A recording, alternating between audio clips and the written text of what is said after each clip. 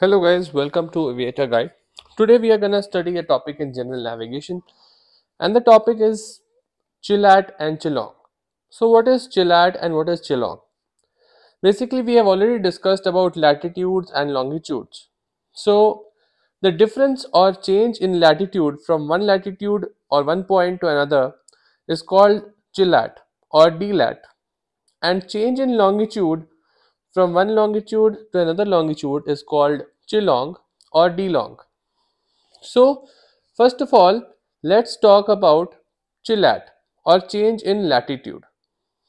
So, if you have to find the Chlat between two different points anywhere on Earth, we have to assume or imagine Earth in the form of a sphere. So, this should be a sphere. So, you have to assume Earth in the form of a sphere on Earth like uh, you have to assume like an orange or an apple in the form of a ball.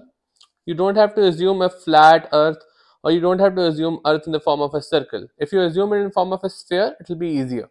So if you have to find the chlat between let's say two points one is 90 north that is the north pole and the equator which is 0 north south so if you have to find the chlat between here 0 north south and 90 north you will simply say that it is 90 degrees north.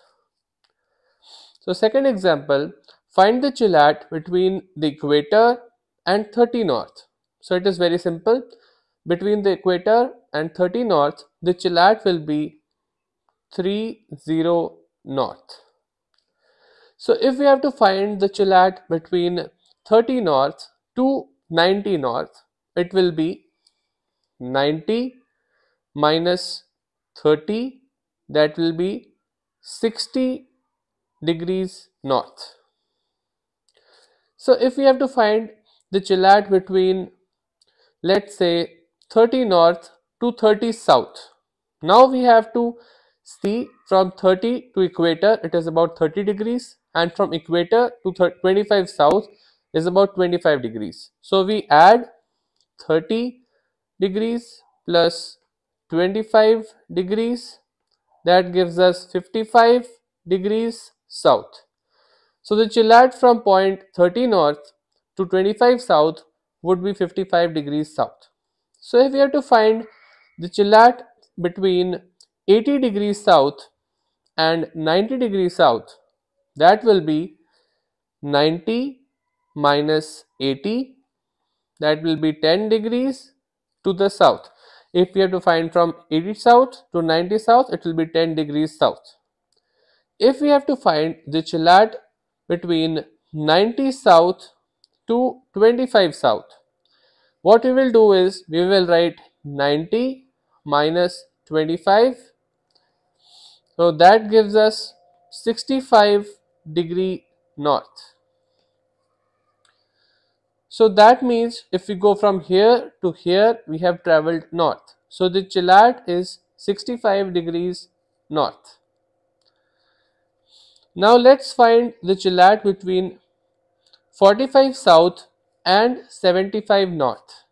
So from to travel from 45 degrees south to 75 degree north, that will be about 45 plus 75 that will be 120 degree north.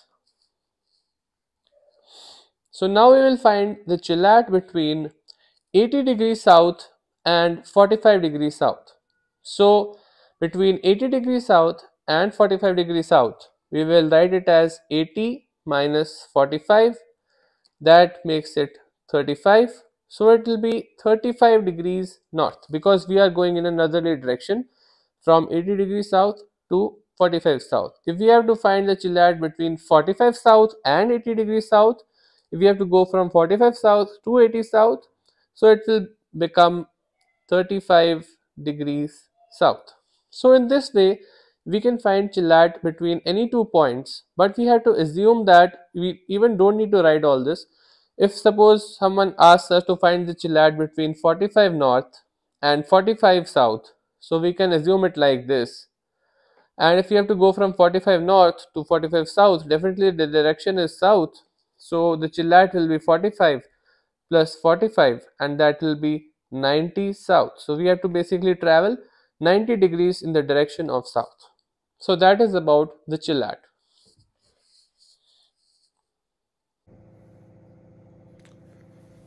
guys now we'll be learning about the chlong or the change in the longitude so if you, uh, you have a question which says find the change in longitude between 170 degrees west and 170 degrees east.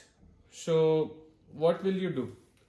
So first of all you will imagine earth in form of a sphere and you will be looking it at from the top sphere or a circle as you please.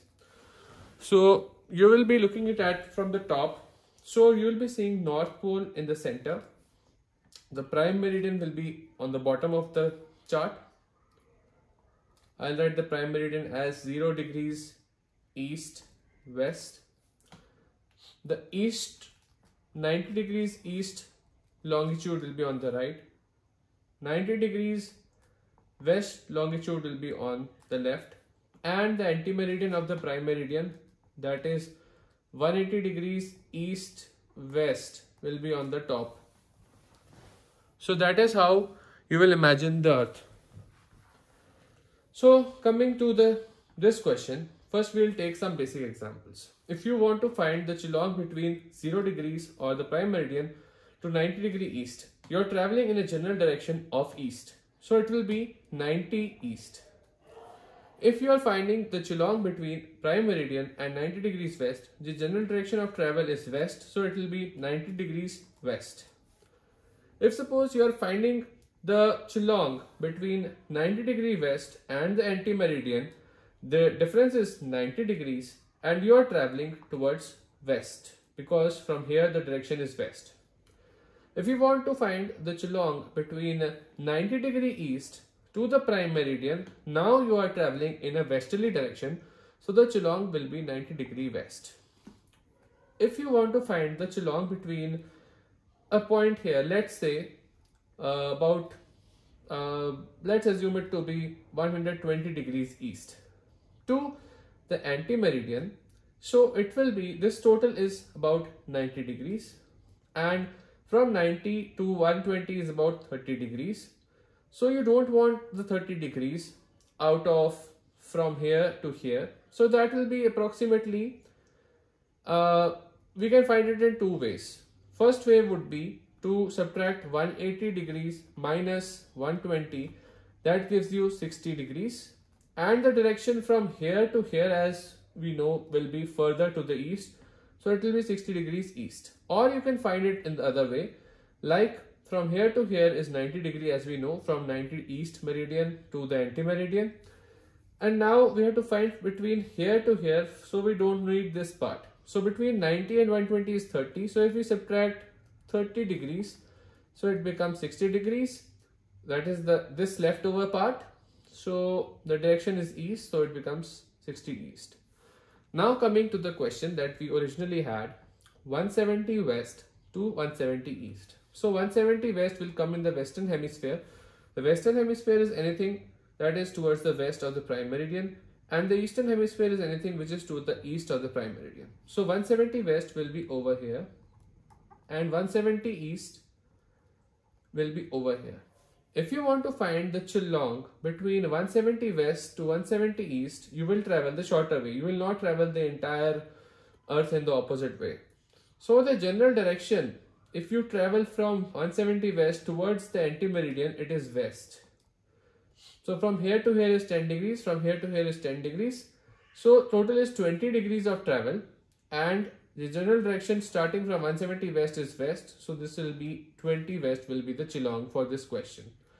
Now the trick is when you are traveling near the prime meridian, it becomes very easy to say which is east and which is west but if you are traveling near the anti-meridian, so if you travel from here, let's say you're traveling, now want to find the Chlong between 170 east to 170 west.